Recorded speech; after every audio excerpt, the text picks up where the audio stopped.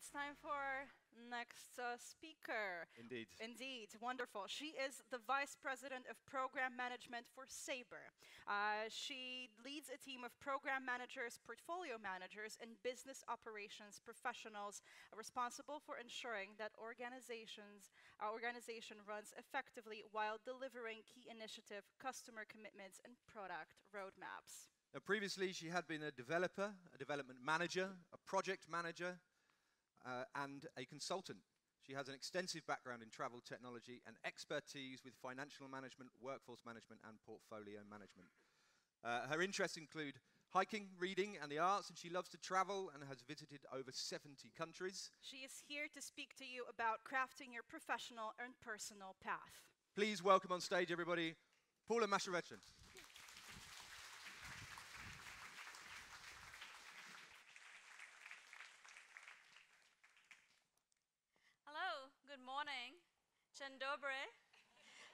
I thought of giving the rest of my speech in Polish also, but then decided, let me stick with English. So I have been in IT for over 25 years. Things were different when we started.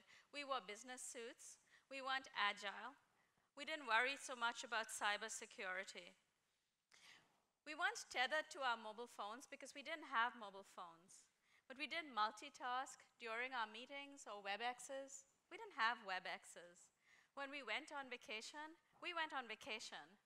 We didn't bother checking email as much. In most respects, things are a lot better now. We have the possibility to work flexible hours. We can work remotely.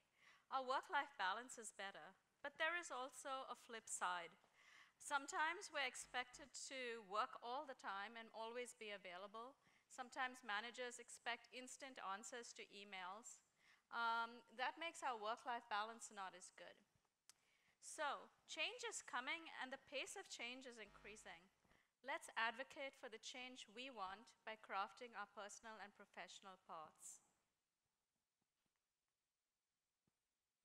I'm going to be talking to, to, today about finding your balance and really just talking about how I found my balance and talk about some of the practices uh, from software development tools that we can apply to our lives. And then at the end, I have uh, some recommendations. So finding your balance, this to me is an ongoing project. It's something that uh, works for me at some points of life and it doesn't work uh, at other points. Right now, I feel like I have a really good work-life balance. I work regular hours. I get six weeks of vacation at Sabre, and unlike most of my colleagues, I take every day of that vacation. I use it to travel. I've traveled uh, all over the world. But um, that wasn't always the case with me. In the past, I've really struggled. As a young professional, I worked very long, crazy hours, and everyone around me did the same. And then I realized that uh, the people who did work uh, long hours weren't necessarily that successful. Specifically, there was a manager that I worked with, and she only worked 8 to 5, and she was successful. And I didn't make any change in my life then, but I started noticing a pattern that the number of hours you put in didn't always correlate with success. And sometimes people who worked very long hours and were always there, they also got laid off. So I began thinking about how I could change things in my life. I wanted to have more time to do the things that I like doing, to uh, go to the theater, to travel, to just to read. Uh, and I also wanted to live a more healthy lifestyle, to find time to exercise more. And so I decided to work pretty regular hours. Now, that doesn't always work because sometimes managers are not supportive and they believe that you need to work long hours or if you don't work long hours, you're not ambitious and you're not deserving of a promotion. So what I've had to do is to find managers who are supportive of my work-life balance. And I've been lucky enough because I've had several. And when I have one and I, you know, I've, I have encountered one who isn't, then I start switching. Managers. My current boss, Dave Moore, he's really supportive. So he doesn't uh, expect an instant answer to emails. He doesn't bother me when I'm on vacation. In fact, he quotes Bill Gates, who says, busy is the new stupid.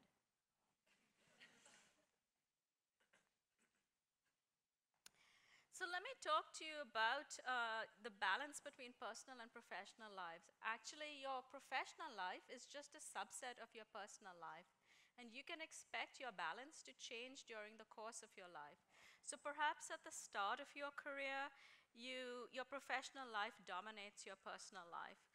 But then as you go through, uh, you may decide to perhaps uh, work part-time while you have kids, for example. IT companies today, I don't think, do a good job of making sure part-time workers have good career advancement opportunities. Mostly those people who work part-time get sidelined. So I think we can do a better job with that. And at the start of my career at Sabre, I had lots of female colleagues. And those colleagues are mostly leaders at other companies who learned to um, retain and attract them. And the companies that don't figure out how to do this end up losing talent.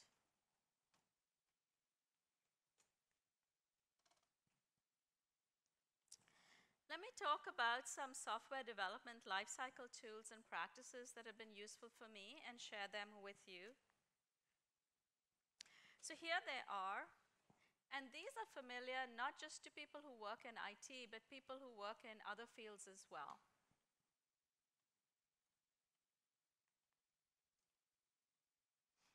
So first, create a vision. You need to decide what your work-life balance should be.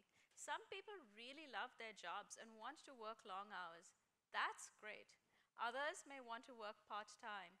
That's okay too. You need to decide for yourself what you want your balance to be. Make sure your goals are realistic. You can't be a perfect parent and a perfect employee. Sometimes you're going to have to have trade-offs between those and to compromise. Make sure you establish boundaries. It's okay to set limits, like I work till a certain time every evening and then I go home, or I don't check email on vacation. You you're going to have to be courageous in setting those rules out and sticking with them. Add flexibility. Sometimes things go wrong. Things don't always work out, and we need to make changes. Make maybe small changes and iterate. Also, when things go wrong, you might uh, have a, to have a plan B to deal with the realities of your life. I find that even though I try to maintain a regular work-life balance, when I take on new responsibilities, I end up working very long hours in the evening until I get past the learning curve and figure out what effort is really valuable and what I can continue doing and what I can stop doing. Also, I try to have a really great team so that I can delegate to them. That for me is key. And mostly, even when I take on new responsibilities, I'll work late during weekdays, but I don't work during weekends. So those are my rules, but you can set your own rules for yourself of what works for you.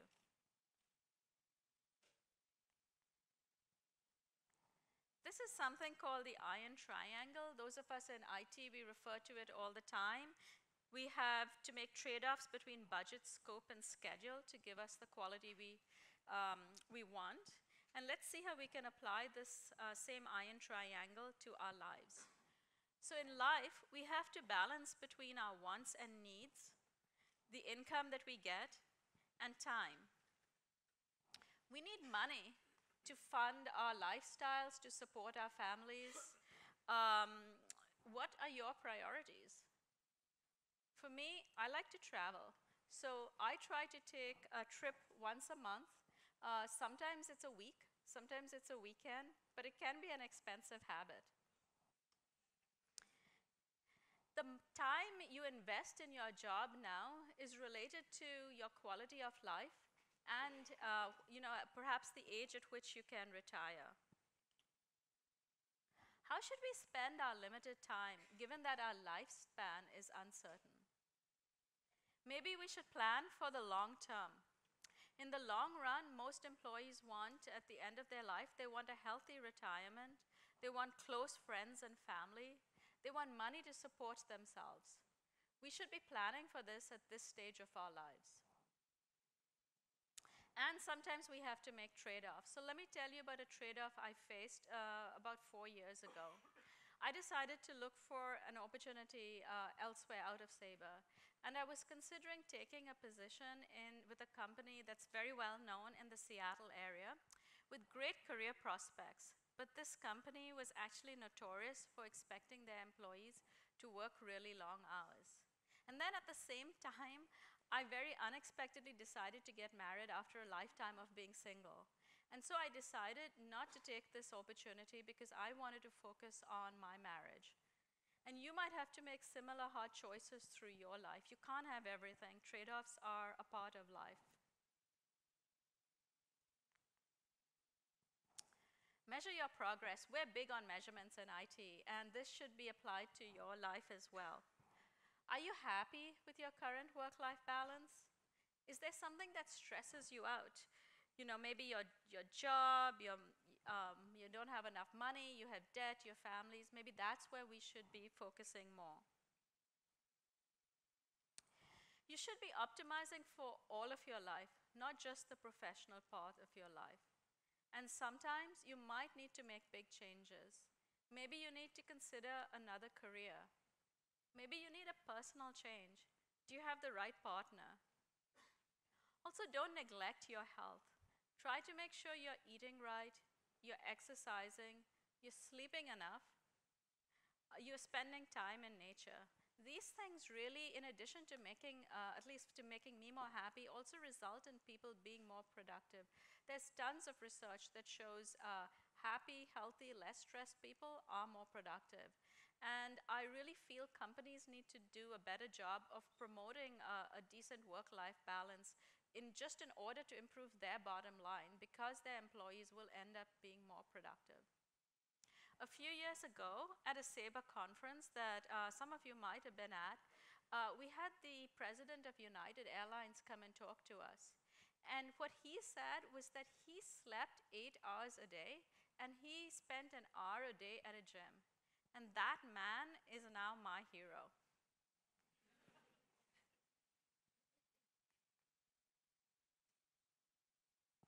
You're going to need to seek support from your friends, from your family, from society in order to make changes sometimes. But you have influence. Don't underplay that influence, use it. If you're an employee, make sure that your managers know what you want. If you are a manager, advocate for your employees. Companies uh, should be offering uh, flexible, comprehensive benefits to their employee. The thing that has made the biggest difference in my career progression has been supportive bosses. Uh, sometimes I've had bosses who were really great. I loved working for them, but they didn't really help me advance my career. Um, and so I've learned to look for bosses that are supportive. And the one thing I have changed since when I was a young manager is I spend so much time, more time now, developing my employees. At the start of my career, I just focused on deliverables. I thought that that was the part um, that was the most productive.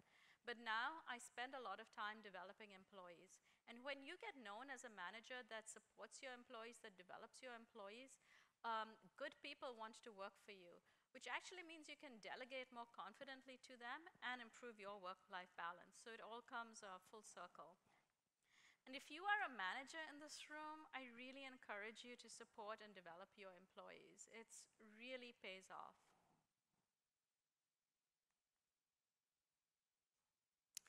So I have some recommendations for you. Know what you want out of your life and your work-life balance and be realistic. Manage your time, set boundaries, decides when you are, you know, when you're working, when you're not working, uh, but be flexible and review occasionally to make sure you're on the right track. Be collaborative. Seek out workplace environments that are collaborative. Make sure your bosses uh, promote your career. Support other women and men in their careers. Support your family. If you have a spouse that has a career, make sure you're doing your fair share of chores and childcare. Don't limit yourself. Don't turn down opportunities because you think it'll destroy your work-life balance. Be courageous in asking for the work-life balance you want. And invest in your development both professionally and personally. Be intellectually curious. Keep your skills current. Take up a new hobby. learn something new, be open to challenges.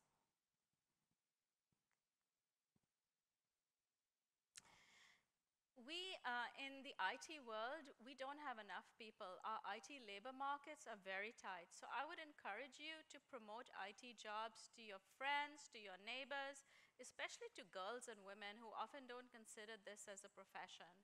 Some people think that they are not smart enough to go into IT. Some people think that the hours are long. They just don't consider it. Um, or they think IT is, the, the IT profession is just for nerds. And they may be right, but let's keep that as a secret. Um, and there are lots of different types of IT jobs to fit people with different skills. At the start of my career, I worked for this product, and what we did was we um, were developing interfaces uh, for reservation systems and check-in systems for airlines. And so we went to reservations agents and check-in agents. We took these people off the floor and we had them act as our subject matter experts. Now these people typically had no college background and no exposure to IT. This was in the 90s. Uh, but what we did was we gave them a test to see who had logical skills and could be taught to program. And we taught these people um, to program. And so many of them were able to make the leap from being an agent to, being, to working in a technology job. In fact, there are two examples, one at Southwest Airlines and one at Sabre, where these people rose up the ranks to become vice presidents of technology. So if you are a manager here, make sure you're looking for people who don't always have the traditional resume. Look at people who want to make the move from QA, from help desks, because they often have the skills you want, they just maybe haven't had the opportunity, and they can turn out to be great employees. Um, so I also want to give you a personal example. About four years ago, um, my husband moved to the US uh, when he married me. And he had been a teacher his whole life. He taught math, he taught physics, he taught computer science uh, at the high school level. And we just assumed that he would be able to continue with that profession. But then we realized he would have to go back to university to requalify. And so I encouraged him to move to IT. And he was able to do that sitting at home, taking free online courses, and he was able to retool his skills. So he is now a full stack developer. He loves his job. He gets paid well. It's a lot better than being paid as a teacher for sure. Um, and he's able to work remotely. So sometimes when I travel, he can accompany me. I haven't yet brought him to Krakow, but I'm hoping to soon.